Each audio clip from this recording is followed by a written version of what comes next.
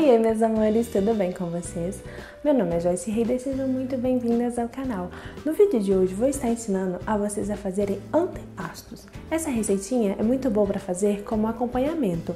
Pode ser acompanhada com um pãozinho, uma torrada, uma crepioca, um omelete, fica a sua escolha. Todas essas opções eu te garanto que fica maravilhosa. Aí, ah, se você gosta desse tipo de receita, não se esqueça de deixar aquele joinha e me seguirem no canal. Aí, ah, me conta aí nos comentários se você quer tipo de receita fitness ou se você quer um pouco de receita mais saudável, vamos dizer assim. Me conta aí nos comentários.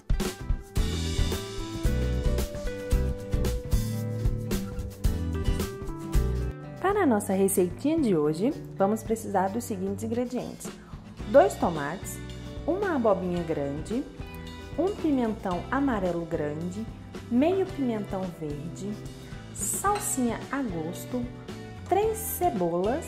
A cebola eu gosto de picar bem pequenininha com o auxílio do Turbo Chef. E vamos precisar de alguns temperinhos. Eu estou usando orégano, um mixerzinho de pimenta do reino com cominho, lemon pepper e sal. E vamos precisar também de um pouco de azeite. Prontinho, depois de todos os ingredientes numa bacia, a gente vai misturar bem. Olha como fica linda essas cores. Fica muito bonito. Aí vamos misturar bem.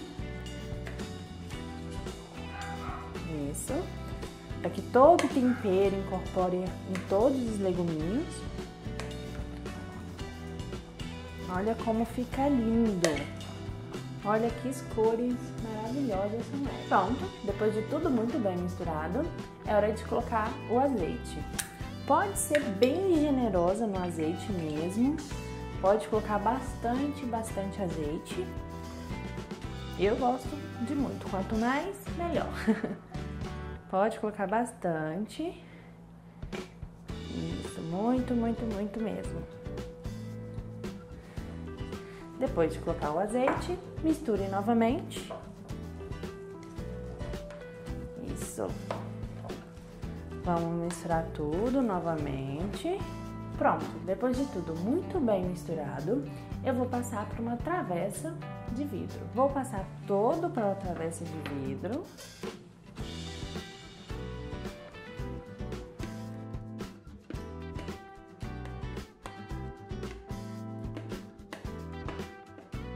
Isso. Esparramar bem assim, para ficar tudo mais ou menos na mesma espessura. Pronto. Depois de tudo muito bem esparramado, eu gosto de colocar mais um pouquinho de azeite. Só mais um pouquinho mesmo. Só para dar o toque final. Depois de colocar mais um pouquinho de azeite, eu vou levar ao forno por mais ou menos 40 minutos a 260 graus. Assim que estiver pronto, eu volto e mostro para vocês. O nosso antepasto já está prontinho. Vou tirar aqui para vocês verem.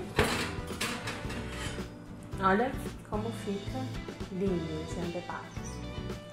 Fica muito bonitinho, não é?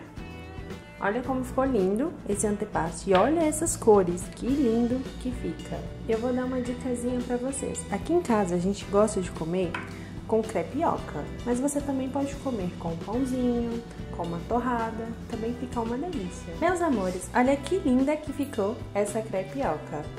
Decidi trazer para vocês como a gente come aqui em casa. Fica uma delícia, fica muito boa mesmo. Façam na casa de vocês, que eu tenho certeza que vocês não vão se arrepender? Olha que maravilha. E como eu disse antes, vocês também podem comer ou com um pãozinho ou com uma torradinha. Dos dois jeitos fica bom, mas eu particularmente prefiro assim, com uma crepioca. Bom lanchezinho da tarde, para você que quer fazer uma coisa mais fit, um lanchinho mais light, né? Muito bom. Ah, e se vocês ficaram com curiosidade sobre a receitinha da crepioca, não se esquenta que semana que vem eu trago a receitinha para vocês. E essa foi a nossa receitinha de hoje, antepastos. Nossa, eu tenho que confessar para vocês, meus amores, eu simplesmente adoro essa receitinha, porque ela vai bem com tudo. É aquela receitinha que com certeza vai bem com tudo. Eu gosto porque ela pode servir como um lanchinho da tarde ou até mesmo para um café da manhã, com uma crepioca. É bem gostosinha. Ah, e se você ainda não é inscrito no canal, não se esqueça de se inscrever e ativar o sininho para receber mais receitas maravilhosas como essa. Até a próxima!